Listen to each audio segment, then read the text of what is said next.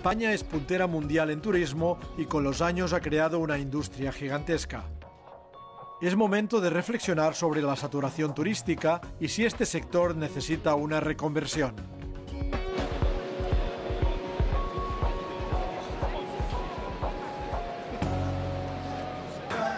Hace un siglo Santiago Rusiñol bautizó a Mallorca como la isla de la calma, pero ahora el turismo la somete a un barullo constante.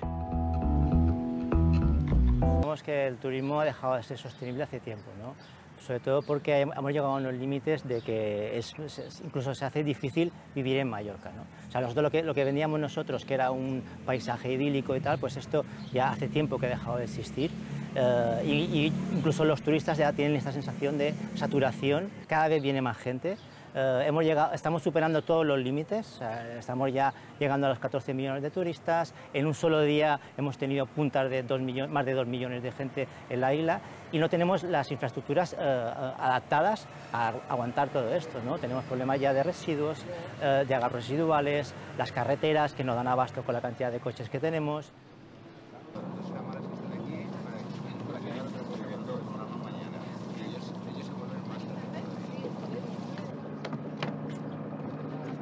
En Alcudia descubrimos una isla dentro de la isla, un ensayo de turismo sostenible bautizado como turismo experiencial. El brillante amanecer sugiere una jornada radiante. A las 7 de la mañana, el pesquero artesanal Las Ballets zarpa con una tripulación adicional.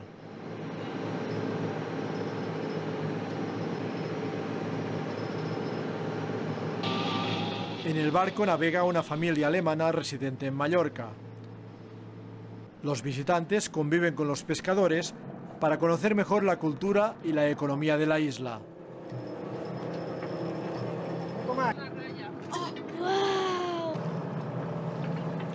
Durante la navegación, los turistas descubren la pesca artesanal y conocen de cerca las especies autóctonas.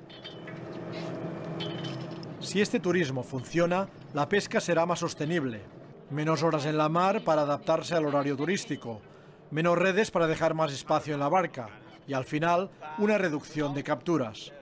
Con esta nueva actividad turística, los pescadores van a entrar en un sector que hasta ahora desatendían. Los operadores que promueven este turismo experiencial están encantados con la implicación de los marineros.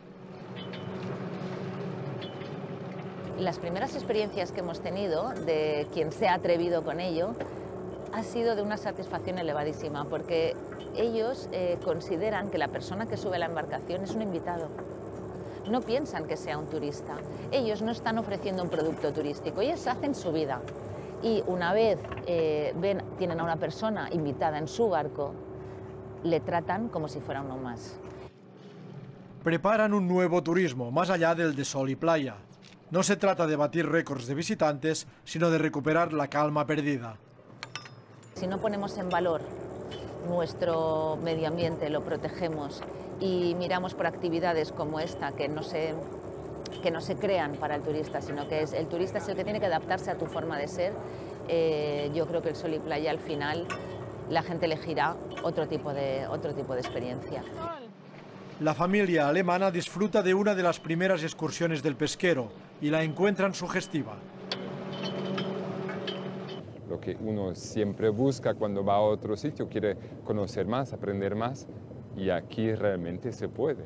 La sostenibilidad social también es importante, ¿no? que esta gente siga trabajando, siga ganando dinero y además que nosotros los podamos acompañar. Carlos Balla es el primer patrón de Alcudia que lleva turistas.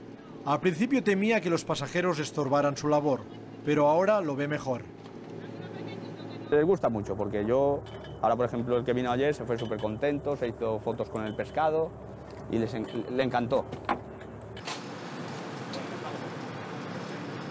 Rumbo a puerto preparan un sabroso almuerzo con el pescado recién capturado. A las dos y media el pesquero y su tripulación adicional acaba en Alcudia su jornada de pescaturismo.